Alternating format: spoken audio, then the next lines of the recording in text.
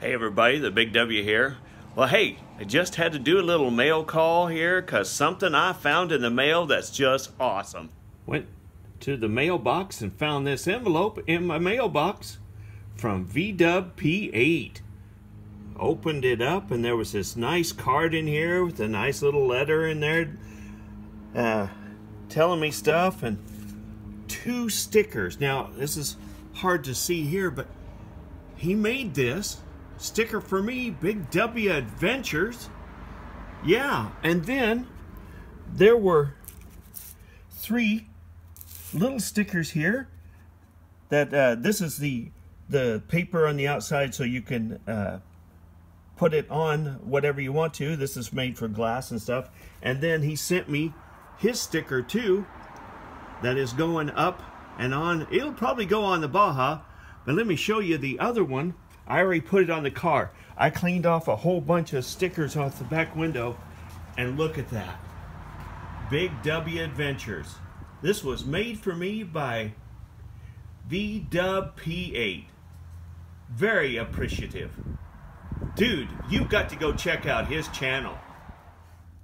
Yep, he loves Volkswagens and going out and about in his Volkswagens that he has, uh, almost like an obsession.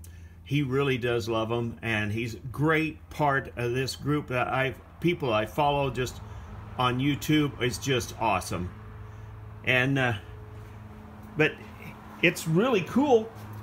He sent me those stickers, and they are definitely going on the Baja bug, so that I could advertise all over the place.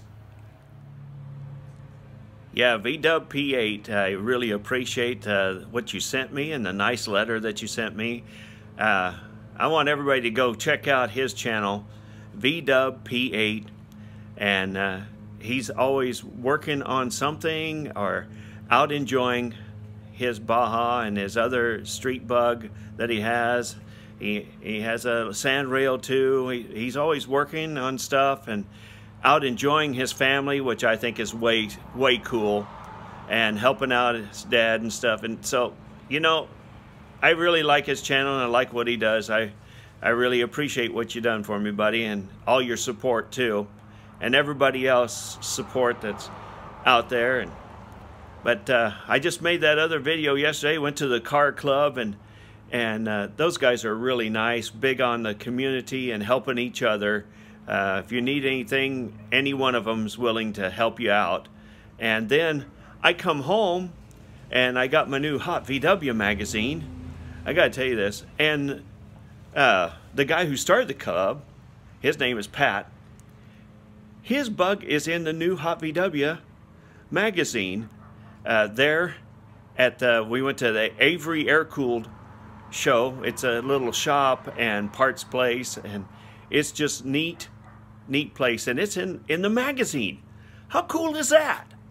Well, listen, you guys go out and enjoy the rest of your day today and the rest of your week while you're at it. This is a Big W. We will catch you again real soon.